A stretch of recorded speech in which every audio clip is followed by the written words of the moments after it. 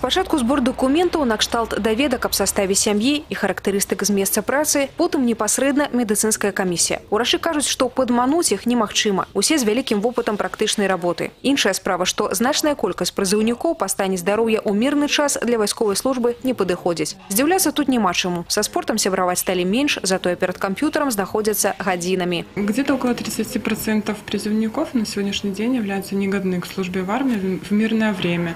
И заболевания, по которым негодны считаются, это с- сердечно-сосудистая система, в основном нарушение ритма, а, опорно-двигательная система, плоскостопие, сколиозы, кифозы.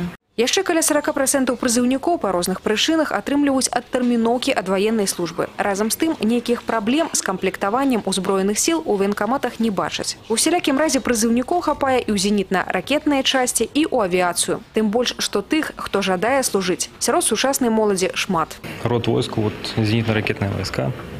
Вот это непосредственно охрана государства, то есть боевое дежурство. Хочу в этом поучаствовать. Першая адпраўка новага папаўнення ва ўзброеныя сілы з гомеля запланавана на 16 лістапада. Маладыя людзі пагаджаюцца. Спачатку будзе непроста. У арміі зусім іншы лад жыцця. Але па вялікім рахунку гэта часовыя цяжкасці, пры тым, што плюсы ад службы таксама немалыя. Желательно иметь готового специалиста, а вооруженные силы, они способны подготовить как в военном отношении специалиста, так и в гражданском. Поэтому я думаю, что молодые люди ничего не потеряют, а наоборот только приобретут, когда пройдут службу в вооруженных силах. Олег Сюнцюров, Ольга Коновалова, Евген Макенко, телерадиокомпания «Гомель».